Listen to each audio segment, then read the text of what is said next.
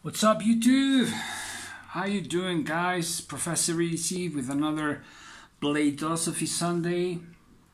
This time um, we're gonna move a little bit to some things and we're going to change for next Sunday our um, episode on the Book of Five Rings by Miyamoto Musashi uh, in order to give some space to this uh, video. Um, and this is a reflection on, on, on the topic. I'll tell you the topic in a, in a second. But also, I'm going to make it an open tag. There, I have. Um, fortunately, I have many friends in in YouTube in the um, international community. Um, I had a wonderful response from many, many channels from my last tag and, and enjoyed watching each and every one of those videos. It's uh, they are in, in a list uh, from that tag what knife uh, defines you the most and in, in this case, I'm going to talk about the topic and leave the tag open for just everyone, okay? I will name it with a tag video, of course. And, um, well, I, I do want to specify um, one person that I was talking with, and that is uh, Stephen from Patty's Potatoes Potato Peelers and we we spoke on the phone for quite a while and it was wonderful to get to know him and you know to just lay some ideas out. And uh, so we we kind of i had this this whole thing that i've been going through. And uh, patty just well stephen um, helped me clear clear it up, and uh, we both enjoyed. I, I, I think our conversation and the topic, and we both decided that uh, I was going to um, to do this video. So the tag goes for Stephen for Patty's potatoes peel, potato peelers, and um, the topic. Where are you on your knife path and I'll explain a bit.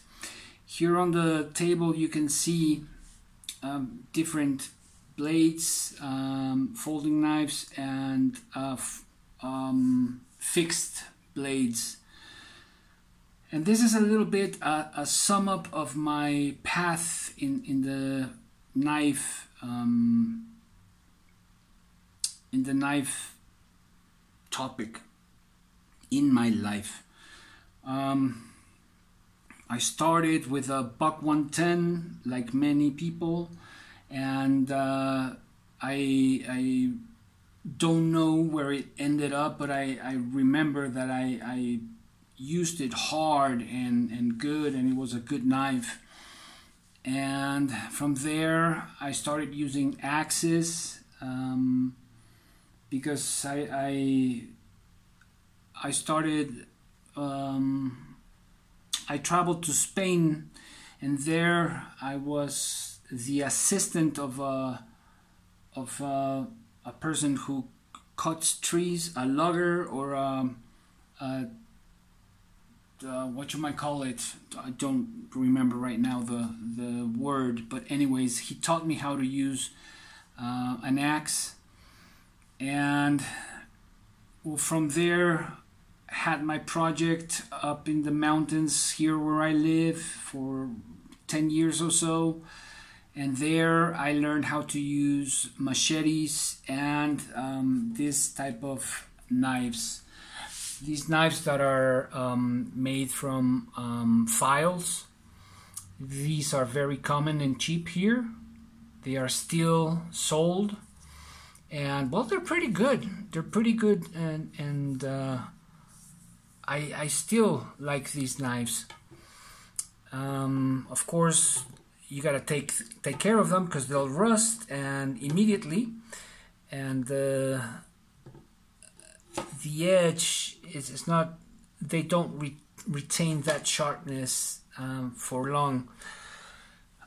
And from there, I started getting more and more interested. At the same time, well, I got my uh, first um, Victorinox, which I love. This one's not it. I, have another one that was a, a dear gift. And I started looking into blades and fixed knives, especially knives. That, that was like my first love. Um, I fell for knives. And uh, of course, who wouldn't know uh, Amora? And um, they are just uh, fantastic, uh, budget-friendly knives, and continued that on that path and evolved. Here I, I have a, uh, just a few examples, and ending up well um, evolved and, and got better materials, more ergonomic, just wonderful to work with. That's it. by the way, this is a Condor um. And this is uh, Yakari Puko from Barustaleca. Wonderful, wonderful knife. And then until finally, after you know watching many videos, learning, I got to and buying other knives. I got to um, the top of my hill, the climax of, of my knives, which is um, this Bark River Gunny Scandi, which is an absolute beauty. I love this knife. And as you can see, I started with bigger knives and then went down to what um, very recently I fell in love with traditionals.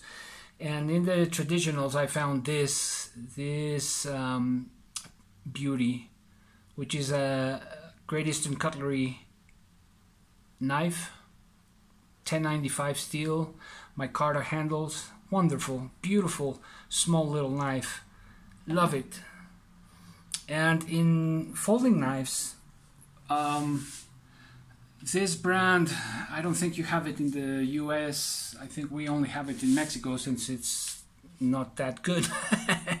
Anyways, the brand is Wally's. And I went through some six, seven uh, of these um, blades, this brand, and they all broke or, or um, had major um, problems. And this this is actually a pretty good one. The steel sucks. I use it one time and I have to sharpen it immediately. Um, but as you can see, I, I give uh, maintenance to, to the blade. Uh, I acid edged it and uh, just uh, take care of it and, and it's in perfect conditions. And then I discovered the Ontario rats and specifically the red one in D2 it's I love this knife. I have mentioned before this is for me this is the goat of budget knives. And uh, love this this blade. Um, went through many more Benchmade's and the 940 and uh, the Spydie Chef and the Cold Steel's wonderful and I arrived to this wonderful knife. Uh, for me, from Spyderco, this is my favorite. Uh, there is the PM2, of course. There's there there are many. Uh, the Spydie Chef, but the Shaman, the Shaman is is is a, a knife more fit uh, for my hand. And then got my first and I think the only uh, SOCOM, Microtech SOCOM Elite. Wonderful, wonderful and, and big blade. Love this thing. Um, I don't know if uh, happens to all, but it came with a little defect, I think. Um, this screw is just impossible to, to tighten or, or loosen up. Um, or was it this one? It was this one. So it came to, the blade came a bit too loose and I wanted it to tighten it up and anyways this screw is just impossible to move and and uh, I'm gonna write to Microtech to see if they can change this screw because it got a few scratches with the screwdriver when trying to loosen it up and I still can't move it. But anyways and then like I mentioned um, I arrived to traditional knives. Perhaps some might think well you should have started there but it went the other way around and I, I am in love with traditional knives. Um, with all of them, uh, particularly with uh, Barlow's, they are oh man, I, I I love those designs. But when I first started, when I started learning about um, blades from the U.S. community, I heard uh, a very strange terminology or, or weird in in the world of knives, and I heard the term the sacred trinity and from that moment on, I knew I fixed my objective and I knew I had to get that um, Trinity. And I knew I wanted to be the first Mexican channel to uh, have that Trinity. And after more than a year and a half, much more, um, it's, it's been two years or so. I managed to get it. The Strider SNG, the Sebenza 31, and actually the Hinderer XM18, I got it from um, Metal Complex. I bought one of his, uh, a, a wonderful, wonderful Hinderer and but it, I still haven't been able to get it uh, from the United States to Mexico, so I'm still waiting for that. But it's already bought and paid for, and well, actually, that was the first one, and then well, here we have the Sebenza 31 and the Strider SNG. Now, I'm not a collector per se, I'm a user I, I do collect to use no matter uh, if uh, the price, no matter the brand. I will use them. I am using them. And um, I knew I wanted these uh, three because I wanted to put them head to head in, in competition.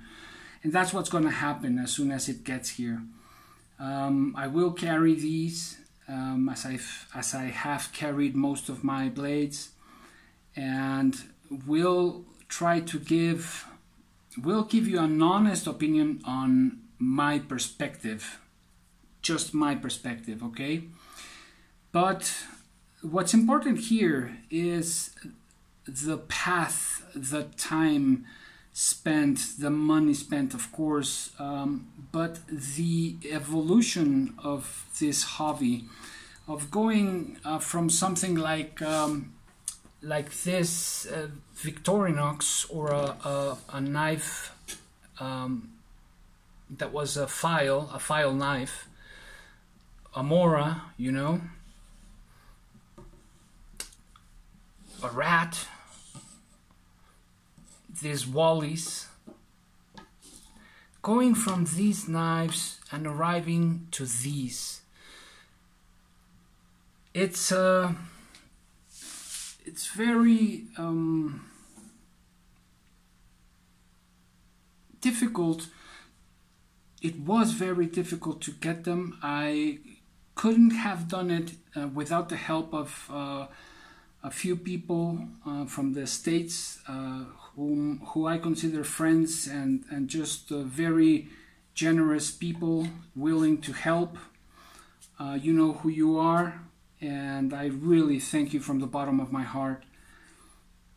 And uh, but not just that. I arrived here and I'm questioning if th- they are worth what I paid for. Um, if they are worth the price the materials, the brand, the construction, the design, they're they're wonderful and they're perfect. It's, it's I'm not questioning that.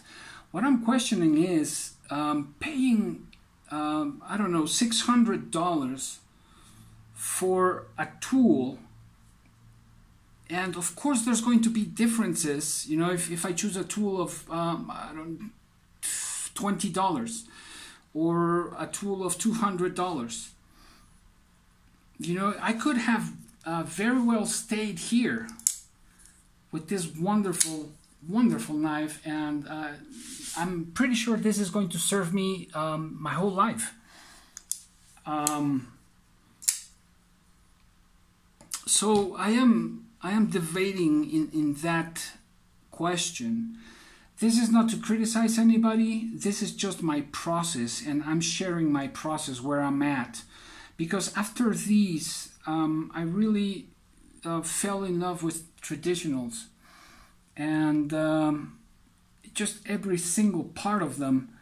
And of course, their price is very different, and their use is very different. Um, but um,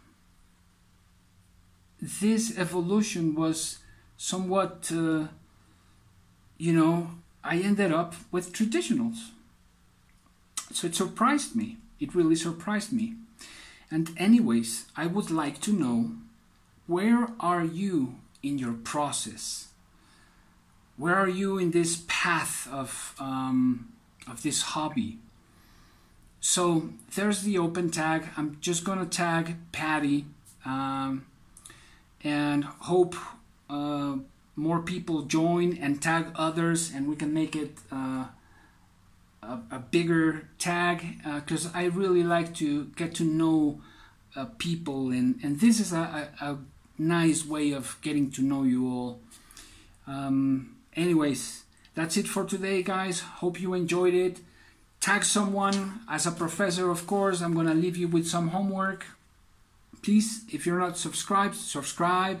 Share with uh, friends and family click on the bell so notifications arrive. I'm gonna make more videos in English and um, like and participate. I always respond to your questions or, or comments, and uh, you can reach me there, uh, Professor EDC, Professor with one S, at hotmail.com, and my Instagram is also Professor EDC with one S. Okay, so have a great, great week and hope to see you in the comments and um, respond to all your comments all right? You take care guys. Professor EDC out